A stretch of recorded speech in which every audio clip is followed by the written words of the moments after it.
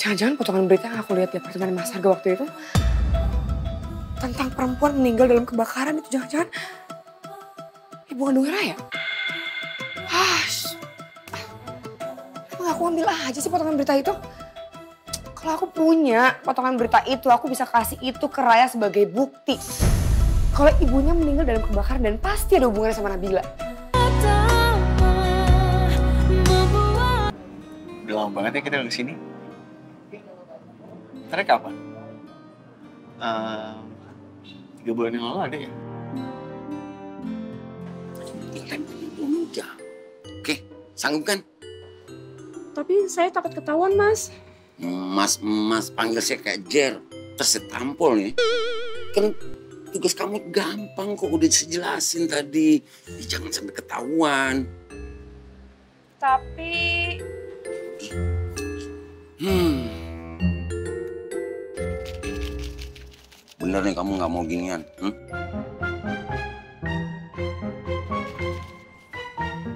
Ya udah deh, saya cari waiters lain aja buat bantuin. Iya tuh mas, saya mau. Gitu dong, kelamaan mikirnya. Oke, sekarang kamu lakuin dulu tugas kamu. Ntar kalau udah kelar, baru saya kasih duitnya, ya. Nih, ini alat ini kamu tempel di bawah meja. Ntar saya aktifin dulu. Lakukan tugas kamu sesuai instruksi saya tadi. You understand? Ya. Oke. That's good.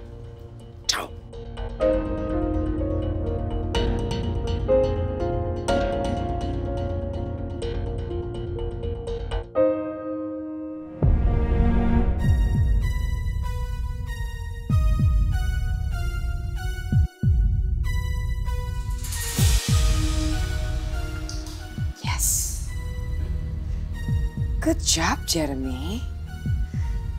Akhirnya penyadapnya udah connect dan aku bisa dengar segalanya dari sini.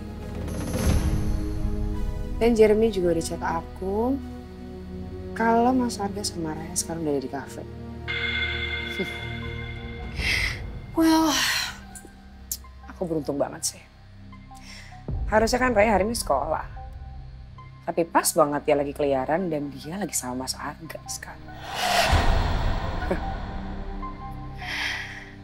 Sekarang aku bisa dengar semuanya. Dan dengan cara ini aku yakin banget. Aku bisa dapetin informasi soal kematian orang tua kandungnya Raya.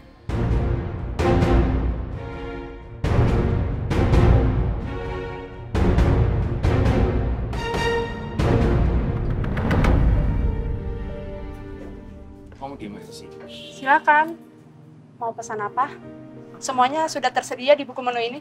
Makasih. Kamu pesan apa?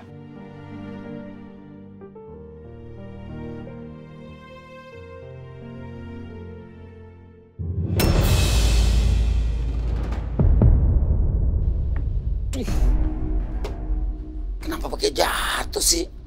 Apa yang jatuh? Uang koin saya jatuh, Pak.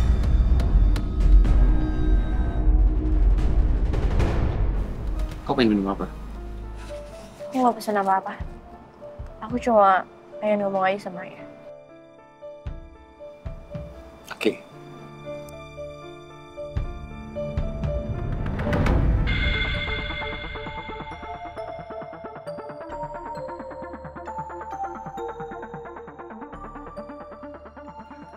Oke, em, Mbak saya pesan cappuccino-nya satu Ya.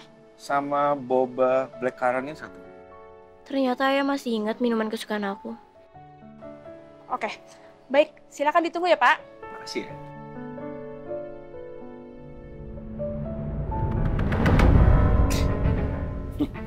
Akhirnya rencana Bu Bos berhasil.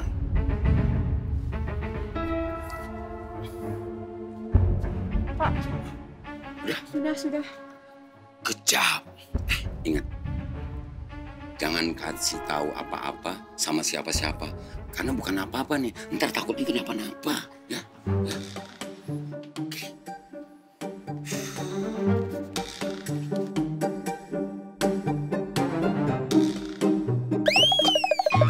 Yang kecomot segini. Udah, ini aja. Ya. Segini doang. Jangan semuanya, ntar saya nggak punya duit lagi. Oke, thank you. Nggak mau basa-basi ya. Aku cuma mau nanyain sama ayah, dan ayah harus jawab. Kenapa ibu kandung aku bisa meninggal?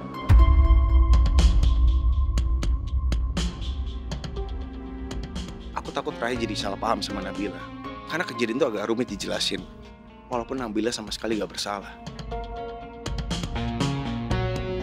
Ayah malah diem aja? Ayah pikir, kamu gak perlu tahu soal itu. Ibu kandung kamu juga udah meninggal. Jadi lebih baik, kamu jalanin yang ada sekarang. Jadi ayah nggak mau jawab? Bukannya tadi ayah udah janji buat jawab? Daripada aku di sini buang-buang waktu, mending aku pergi aja dari sini. Raya, Raya. Sebentar.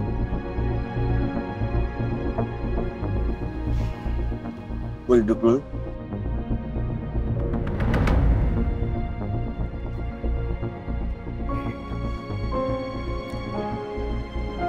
Akan jawab pertanyaan kamu.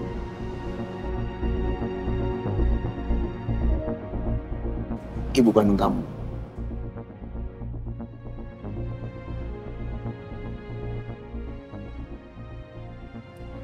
Meninggal dalam kebakaran. Kebakaran.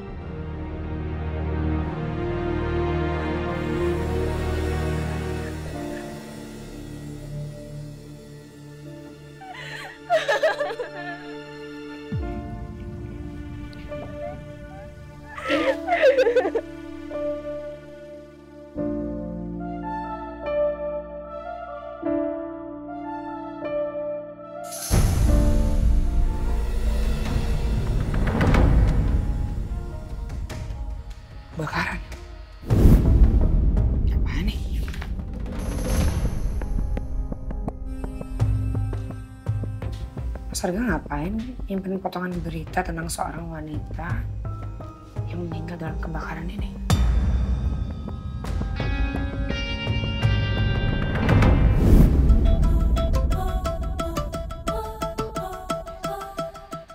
Sakit. Jangan-jangan potongan berita yang aku lihat di apartemen Mas Harga waktu itu tentang perempuan meninggal dalam kebakaran itu jangan-jangan ibu kandungnya Raya? Aku ambil aja sih potongan berita itu? Kalau aku punya potongan berita itu, aku bisa kasih itu ke Raya sebagai bukti. Kalau ibunya meninggal dalam kebakaran dan pasti ada hubungannya sama Nabila. Aku yakin banget. Nggak mungkin gak ada hubungannya sama Nabila. Karena Mas Arga ngerasain soal ini sampai segitunya.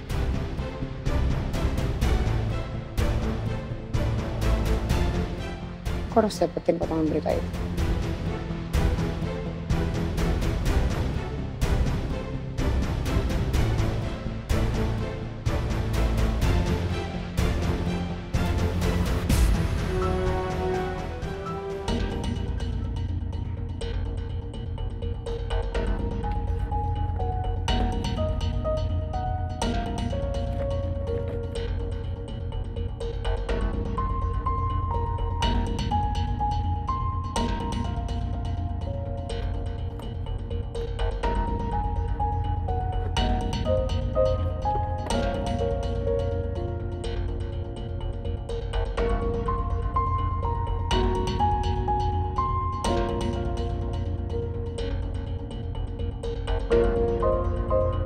Di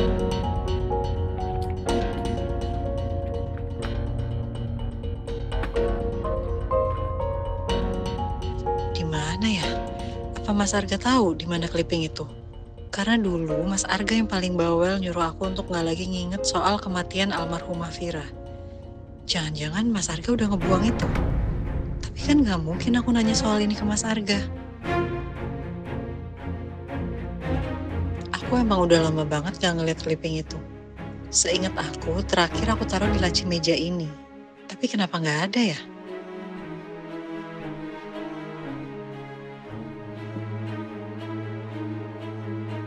Bi, Bimun, Ya, Bu. apa, Bu? Bi, Bimun lihat clipping nggak? Clipping. Iya, clipping yang isinya kayak potongan-potongan koran gitu loh, Bi. Oh, yang kayak anak-anak sekolah bikin yang apa artikel-artikel dari koran gitu ya, Bu? Iya, iya itu. Oh iya, saya tahu. Nah, itu jadi ada clipping kayaknya sekitar tahun 2009 ya. Itu tentang kebakaran rumah ibunya Raya. Bi, saya harus temuin clipping itu, Bi. Jangan sampai clipping itu jatuh ke tangannya Raya. Saya khawatir nanti dia salah paham dan dia malah benci sama saya. Iya, iya. Iya. Bimun tolong cariin di bawah deh, di buffet, di lemari-lemari. Pokoknya di bawah, Bimun tolong liatin ya. Baik, baik, Bu. Tapi Ibu tenang aja ya, Bu. Insya Allah saya bisa temuin ya, Bu. Dan saya amankan pasti. Ya, makasih ya, Bi. Ibu tenang ya, Bu.